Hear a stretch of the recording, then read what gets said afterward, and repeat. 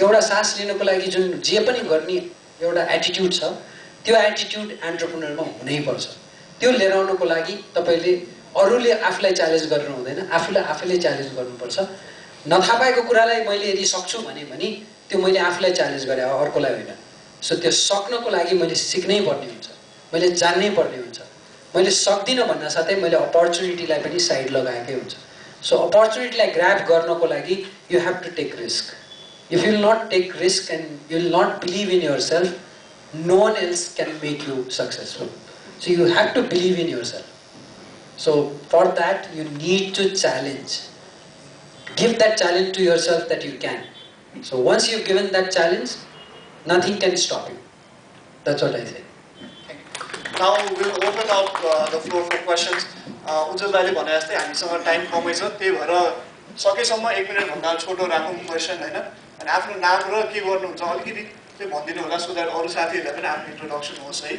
अनि आजको लागि चाहिँ सिन्स टाइम कम आयो भने एकैचोटि दुइटा तिनवटा क्वेसन सोध्छु रञ्जित दाइले चाहिँ त्यही अनुसार त्यसलाई क्वेसनहरूलाई मर्ज गरेर आन्सर गरिदिनुहुन्छ होला है। Thank you, Ranjit Myself, DK Chandan, uh, motivational speaker, going to earn more than Ranjit Dai in soon. Uh, र उहाँलाई सोध्न चाहन्छु के त भने दाइले जुन अघि भन्नुभयो दा चपाउनु चपाइसके राख्नु अगाडि राखिसकेपछि चपाउनु सिक्ने भन्ने कुरा छ। त्यहाँनिर एउटा फेयर फ्याक्टरको रोल पनि प्ले हुन्छ।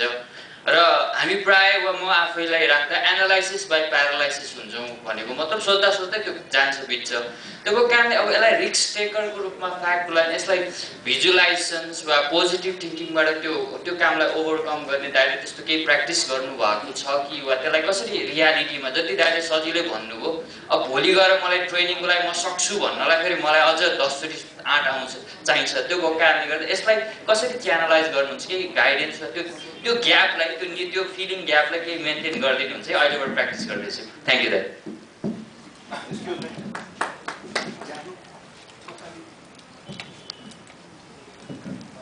Um, myself, Sumit Agarwal from BBA in Kusum.